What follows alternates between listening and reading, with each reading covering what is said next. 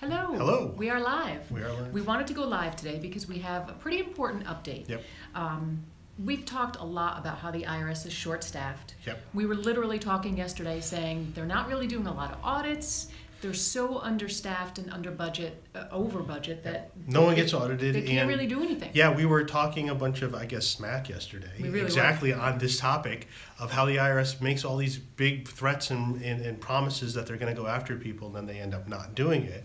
Uh, sort of leaving us like in the position where we advise people over the years to do the right thing. His say, look, you have some exposure, and then we're sort of wondering. It's like, well, you know, you're kind of making us look a not so. Those of us who have advised doing the right thing and doing things properly, you're making us look a little foolish. Right. So, I mean, I know we're not the number one concern how they feel about us. Uh, really, our clients are. But this is what happened. It's since uh, we we published that video, we have been getting calls. People streamline submissions are now under audit, Yep. and that is a first. IRS has been saying for years we're going to audit streamlined submissions, years, and we've seen nothing, not one single solitary call. And all of a sudden, in the past oh, week, few days, Yeah. the calls have started coming in. Yeah, and we were we were figuring that it would happen at some point that the IRS had a lot of revenue agents that they've trained via the offshore voluntary disclosure program. Mm-hmm. Those have been moving quicker, been drying up, haven't been as complicated. So we thought that they would be moving those people and putting them into more of an audit role now. Now that they're trained and have all these issues and they know what penalties to look out for, um, we were just sort of thoughting, thinking it would have happened a lot sooner. But the IRS does always move a lot slower than you would think or you would hope. Um, and now finally, here it is. The audits are happening. And I would say this is sort of the, the thing most people don't understand. And a lot of people have made the soft disclosures too. And a lot of people made the soft disclosures 2010, 2011. And you're thinking, hey, I, you, you've waited out. For a lot of people, you, out- you've waited, uh, you- you've met the FBAR penalties. It's too late to assess them. And, and so, hey, good luck. Yep. I mean, that's, I mean, that's awesome. You, you, you won. You won on the FBAR issue. But here's where you didn't win. And this is where they still have you. And I think this is something that did figure into the IRS's calculus about how quickly they needed to get to these cases.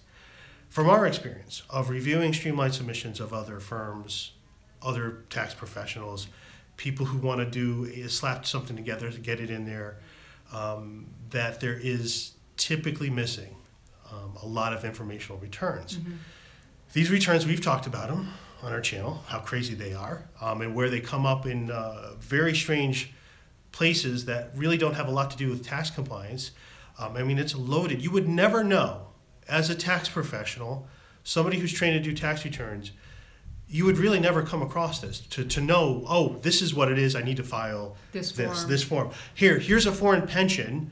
I need to file a Form 3520 and possibly a file Form 3528. Oh, and if I fail to do so, I am now having $10,000 per each one. So one year you could have two $10,000. For, that's just for, for one pension. If There's other pensions or other things. Well, you have issues. And now this is the thing. Let's just say, let's just stick with that foreign pension. Um, um, if you don't file that form, form 3520, the statute of limitations on all of your returns, all the ones you've ever filed, hasn't even begun to run. That's insane. So right, you're calling, you know, you're doing your research to say, okay, how long do I have to wait to the IRS, you know, I get that clean bill of health? You're doing your research. you probably, years. yeah, you probably came to three or six years, and then you saw the the fraud exemption, but you're not really because you're that's not really your threat because you actually reported a lot of your income. So that fraud thing, you're like, yeah, it doesn't quite apply. So you're like, six years worst case, you're thinking, hey, that's it. Mm-hmm. You know, I made it through. No, not quite. And the IRS can look back all the way to, all the way in time. They don't really even care about assessing you the taxes. They don't need to. They could just go back to say, you know, say your foreign pension started in 1997. Well, now we have 20 years of a Form 3520 and a possible 3520A. Mm-hmm. Now, not every foreign pension depends on what country you're in, what treaty applies. And see, there it is, right there. It's so complicated. You have to know. You have to look at a tax treaty, know what's required in order to do that, and that's just above the skill set of most people. It's just so overly complicated. So 20 years times two, you have a $400,000 penalty. And so those are people like, hey, I avoided that uh, potential FBAR penalty of $400,000. Yes, you did. But. We're going to take your entire pension because you didn't fill out a form. Thanks, and what's worse about these penalties is that they're Title 26 penalties. So the IRS can use their traditional collection methods to get them. Meaning, this is and here's here's a really big difference.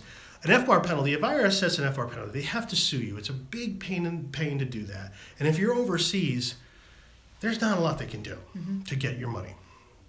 If you're overseas and you have a tax debt, a lot of countries have mutual enforcement agreements, and we have one with Canada, mm-hmm. that if you owe a Canadian tax debt, the U.S. will use their collection tools, the IRS's collection tools, to collect your Canadian tax it to Canada, and Canada's going to do the same thing for us. Mm-hmm. Well, these are all in a force all around the world. Not every country, of course, Right. but some countries have it. So you're now going to have to worry about the IRS actually being able to get these Title 26 penalties for you. Um, so this is always was, you know, this is really the reason why we, we, when we do streamlined disclosures, you know, we're very thorough. Uh, we do the correct job because we're like we have to. We treat every uh, submission as if it's going to be audited.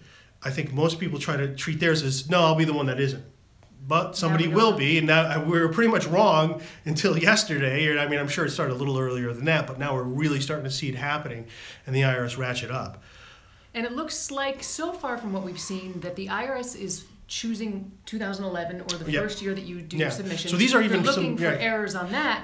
And then I, my assumption would be if they find errors on one year, then what they're going to do is extend And they can right, and they can go, they can- they can extend this, you know, and it's really not a lot of work. You you know, you might think, well, the IRS that's a lot of work for them to audit 20 years. No, I don't really care about your income. I'm just going to assume your income's right. What I want to audit you is for missing form. That's what I want to audit Yeah. for, Is and the that, that's form really what here it is. or is the form not here? That's a pretty simple. That doesn't take a lot of time. Doesn't take a lot of resources. Yep. And this is the other thing too. The IRS has been, you know, we've been um, paying attention to their training. They actually put a lot of their training uh, online. If you know how to look for it, you can find it, and you, they'll, you'll see what their strategies are. And they're saying, look, here's here's penalties. You just pick up. Yep. Just grab it. It doesn't require any resources. And this is the overall theme of the IRS. They have half the auditors, and they're under pressure to get results. Well, how do you get results? Well, you can assess these crazy penalties in cases where there's no tax non-compliant or there's no underpayment of tax, Yep. and now they get the stat they want, and you know they get the stat they want. Hey, look, this is what we've assessed. They're, they and they're able to clear the cases out, um, and that's what they're really looking for. They're looking for those simple, simple cases. They the IRS hasn't audited some rather big players um, in business, and I think a lot of um, a lot of in-house tax counsel know. Uh, they know that wow, we haven't been audited in quite some time, um, and the IRS has you know to do to do an audit on a very large business, it's going to take years, and they're going to fight back, right? They have that whole you know all those attorneys and whatnot to, to fight back, and so you're going to sink. Are you really? Does the IRS really want to sink 30 people into auditing a billion dollar company for for what?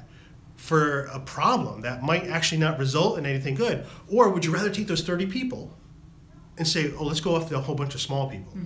And now, oh, each each one of those, because like, hey, look, I got this, you know, here, I got this guy for forty grand, I got this guy for two hundred grand, um, and it was done so quickly, and that's where we, that's really where our fear was coming. Now it looks like it's coming to fruition just a lot, little bit later than we anticipated. Yep. So we do have a service where if you have done a streamlined submission and you want us to review it, Mm-hmm. Yeah. we can do that. Yeah, streamlined submissions can be can be amended. You, there's a there's a procedure for amending it. So if you think you have a weak one, and now you're saying, oh yeah, they are auditing them, Yeah. um, and you want it done a little bit to a higher standard, Yeah. yeah, we can help you with that. We can help Yeah. Mm-hmm. with uh, reviewing streamlined submissions, or if the IRS does contact you saying you're going to be audited, uh, don't hesitate to contact us. Oh, and also if you did make a soft disclosure, Yeah. um, you know, again, this is this is the, the example I was saying, you know, the other day, the IRS identified ten thousand people who made soft disclosures, and really, I, I know of one they audited, um, and they really haven't audited the rest. I'm thinking now, if they're on 2011, that's when a lot of people started making the soft disclosures. Okay. So my thinking is we're going to start seeing those. The thing on the on, on the soft disclosure, you can actually still use the streamline program you could actually still use the streamline program if you did make a soft disclosure. And a lot of these cases, you've already paid the taxes. So now it's just filing these informational returns right, so that if you are audited, you have protection. You've already, you know, you more likely you've missed any FBAR. Now let's clean up the rest so that there's no exposure left. Yep. Instead of just sort of crossing your fingers and hoping, because again, on these forms, you can't wait them out. They, they have forever. This is one time I think where it's important to be proactive. Yeah, I Yeah. so. All right, well, don't hesitate to contact us if you need help. It's 888 727 8796. You can email info at irsmedic.com and you can like and comment below and make sure you subscribe to our channel so you get more updates about international and domestic tax issues. Thanks for watching. It's the hard part.